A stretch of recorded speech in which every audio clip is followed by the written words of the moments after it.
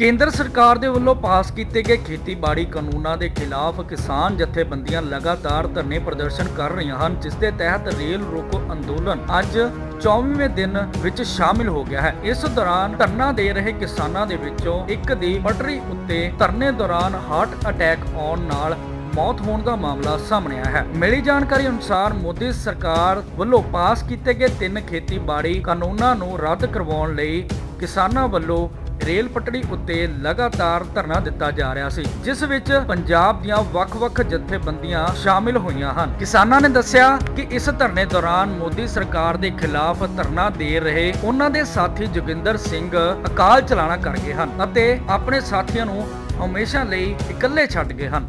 ਪੱਤਰਕਾਰਾਂ ਨਾਲ ਗੱਲਬਾਤ ਕਰਦਿਆਂ ਜਥੇਬੰਦੀਆਂ ਦੇ ਆਗੂਆਂ ਨੇ ਕਿਹਾ ਕਿ ਉਹਨਾਂ ਦੇ ਸਾਥੀ ਜੋਗਿੰਦਰ ਸਿੰਘ ਦੇ ਚਲੇ ਜਾਣ ਨਾਲ ਜੋ ਨਾ ਪੂਰਾ ਹੋਣ ਵਾਲਾ ਘਾਟਾ ਉਹਨਾਂ ਨੂੰ ਪਿਆ ਹੈ, ਉਸ ਦੀ ਜ਼ਿੰਮੇਵਾਰ ਕੇਂਦਰ ਸਰਕਾਰ ਹੈ। ਹਾਂਜੀ, ਮੈਂ ਕਾਮਨਰਪਾਲ ਸਿੰਘ ਜਮਹੂਰੀ ਕਿਸਾਨ ਸਭਾ ਦਾ ਸੂਬਾ ਕਮੇਟੀ ਮੈਂਬਰ, ਤਹਿਸੀਲ ਪੱਟੀ ਤੋਂ।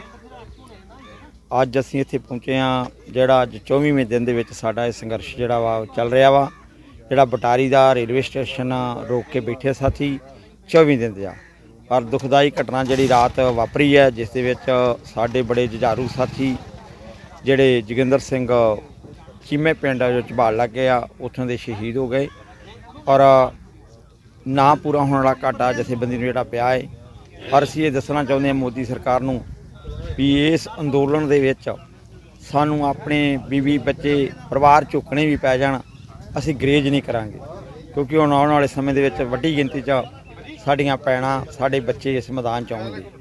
ਸੋ ਇਸ ਤਰੀਕੇ ਦੇ ਨਾਲ ਇਹ ਸਾਡਾ ਸੰਘਰਸ਼ ਆ। ਤੁਸੀਂ ਦੇਖ ਰਹੇ ਜੋ ਕੈਂਡੀ ਲੱਗੀ ਆ, ਜਿਹੜਾ ਸਾਡਾ ਸਾਥੀ ਇੱਥੇ ਸ਼ਹੀਦ ਹੋਇਆ ਔਰ ਜੋਗਿੰਦਰ ਸਿੰਘ, ਜਿਨ੍ਹਾਂ ਦਾ ਨਗਰ ਮੈਂ ਪਹਿਲਾਂ ਦਾ ਚੁੱਕਾ ਚੀਮੇ ਪਿੰਡ। ਔਰ ਉਹ 24 ਘੰਟੇ ਤੋਂ ਇੱਥੇ ਰਾਤ ਰਹਿਣਾ ਪੈਂਦਾ ਔਰ ਅਗਲੇ ਦਿਨ ਫਿਰ ਅਗਲਾ ਜਿਹੜਾ ਜਥਾ ਆਉਂਦਾ, ਫਿਰ ਜਾਈਦਾ ਹੈ ਇਸ ਤਰੀਕੇ ਨਾਲ ਰਾਤ ਉਹਨਾਂ ਨੂੰ ਜੋ ਇੱਥੇ ਅੰਦੋਲਨ ਲੜਦੇ ਹੋਏ ਸਾਡੇ ਸਾਥੀ ਸ਼ਹੀਦ ਹੋਏ ਨੇ। ਤੇ ਅਸੀਂ ਉਹਨਾਂ ਨੂੰ ਸਲੂਟ ਵੀ ਕਰਦੇ ਹਾਂ ਔਰ ਅਸੀਂ ਇਹ ਵੀ ਕਹਿੰਦੇ ਹਾਂ ਵੀ ਜੋਗਿੰਦਰ ਸਿਆਂ ਤੇਰੇ ਕਾਜ ਅਧੂਰੇ लाख की जिंदगियां करांगे पूरे क्योंकि सरफरोशित की तमन्ना अब हमारे दिल में है देखना है जोर कितना बाज हुए कातिल में ਇਹ ਮੋਦੀ ਨੂੰ ਅਸੀਂ ਦੱਸਣਾ ਚਾਹੁੰਦੇ ਹਾਂ ਪ੍ਰਾਈਮ ਮੁੱਢਲੀ ਅੰਮ੍ਰਿਤਸਰ ਤੋਂ ਮੁਕੇਸ਼ ਮਹਿਰਾ